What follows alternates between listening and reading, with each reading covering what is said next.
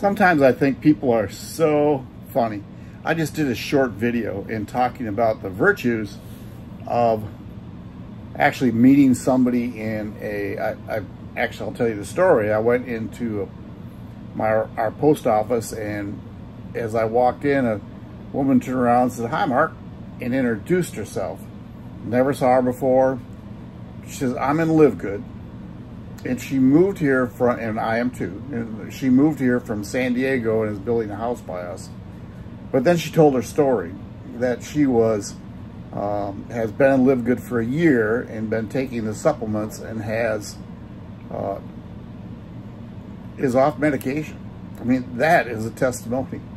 I posted this, I made a short video, I make a lot of short videos, and put it up here, and somebody comes on, I can't tell you his name, it was, I mean, one of these guys, he's been on there for nine years, one subscriber, and it's called Death by something, I mean, some gamer, I, am guessing, I, I guess I don't know what he does, but he says, this is a pyramid scam. So I, all I did was reply back to him. I probably shouldn't even have done it. But I said, do you know what a pyramid is? Because I know they don't know what a pyramid is. Now, I've been in corporate world. I, I had my own business. Um, I started out being in a retail store. And then I had, uh, then I actually worked for the Department of Education in Minnesota for maybe two years.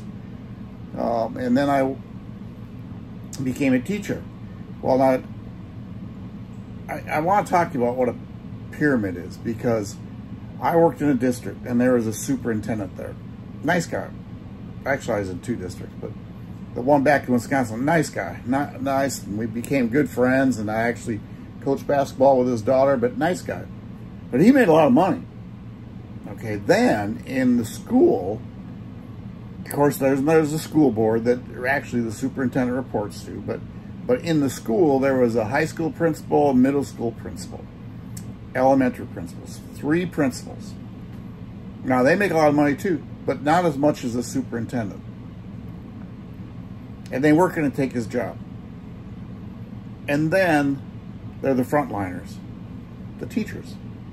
And we made the least amount of money and had no even thought of decisions. That's kind of a pyramid in the corporate world, in the Department of Education, it was run by, I don't know who it was. I wasn't, I, I was in a desk for two years, the worst job in the world that I had because it was so dumb. Excuse me, but I mean, there was a person who ran the Department of Education, appointed by the governor. And then they appointed their next level of workers. And they all made a lot of money.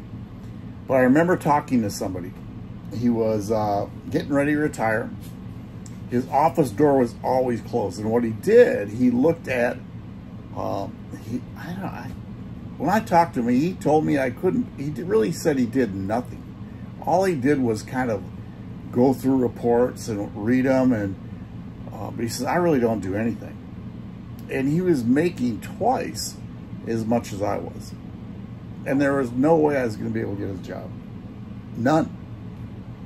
That's a pyramid right? One level way up on top, then the next level, then the next level, then the next level. Now, when you talk about, um, of course, we have a CEO, and I'm not going to get his job. Um, but then I can make as much money as I want. I can make more money than the CEO if I want to. I mean, that's what this is all about. So that is a pyramid. So let me answer this as my wife walks in the trailer. I want to let her talk too. But is LiveGood a pyramid? No. LiveGood is a 2 by 12 matrix. There are people that came in after me that make more money than me. The person who enrolled me, I can make more money than he. Than he. So anyway, that's what it is. Hey, I link down below called Mark's Free Tour. Click on that. Just go look at it.